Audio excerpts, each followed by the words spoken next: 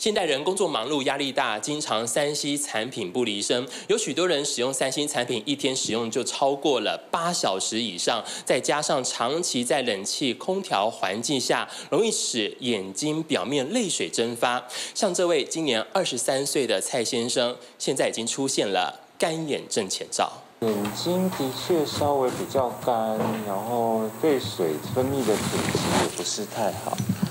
帮我再看前面哦，右边也是一样的状况，有一点轻微的过敏。来往上看哦。蔡先生在医疗机构担任各管师，每天工作繁忙，上班必须盯着电脑荧幕，甚至是手机查看讯息，尤其睡前也会习惯划手机近一个小时左右，直到眼睛疲倦了，才愿意就寝。平常的时候眼睛会发红，然后有时候会痒，那有时候比较严重会有视力模糊的状况。那后来在眼科就诊后被诊断是干眼症。如果在干眼症的初期症状比较轻微的时候，可能会有一些干痒或是涩的情形。那比较严重一点，可能会有一点视力模糊，或是眼睛非常的刺痛。那如果有以上的症状，就需要来来就是比较。专门的眼科诊所或者眼科的医院，然后来做比较详细的评估。临床上我们可以发现，那个干眼症的病患其实年龄有逐渐的，就是呃往前挪移到年轻化。那呃在跟那个三 C 产品的使用上也有极大的关系，甚至很多的追剧啊等等的都会让你忘记眨眼睛，那会让你干眼的症状会更加的呃深刻，而影响到你日常的生活。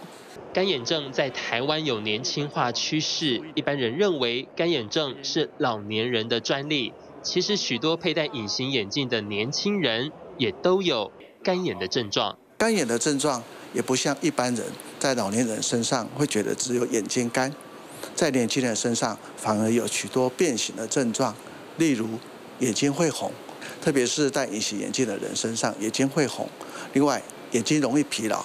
山西族到下午眼睛疲劳，这也是年轻人干眼症的一个症状。全台湾大概平均有三到四成的人有干眼症，然后里面其实大部分的人都是年纪比较大，然后可能体质有一些改变的患者。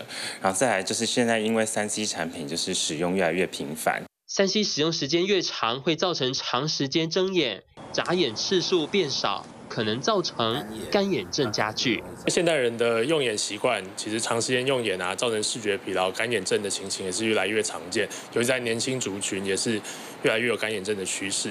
对，那这部分的话，就可以从日常的生活保健做起。那当然，正常的用眼习惯，避免长时间用眼，适度的休息，顺便做点热敷，都是很重要的。生活习惯要好，生活习惯要好呢，代表说睡眠要充足，因为眼睛的防护里面。这个睡眠是最重要的。那所谓的保持水分呢，是除了眼睛点眼药水保湿，也要适当的饮用水分，让身体让眼睛保湿。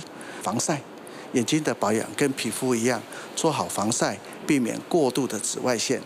干眼症就是眼泪的油水分泌失衡，导致眼睛红、畏光、怕风、视力模糊，甚至神经感觉异常。严重者还会引发角膜溃疡。影响视力，甚至到晚上的时候会眼睛容易流泪水，这也是非常典型初期的干眼症。因为眼睛过干，眼睛想要分泌出适当的眼泪来滋润，结果效果不彰。所以这些都提醒我们，台湾的干眼族群有年轻化。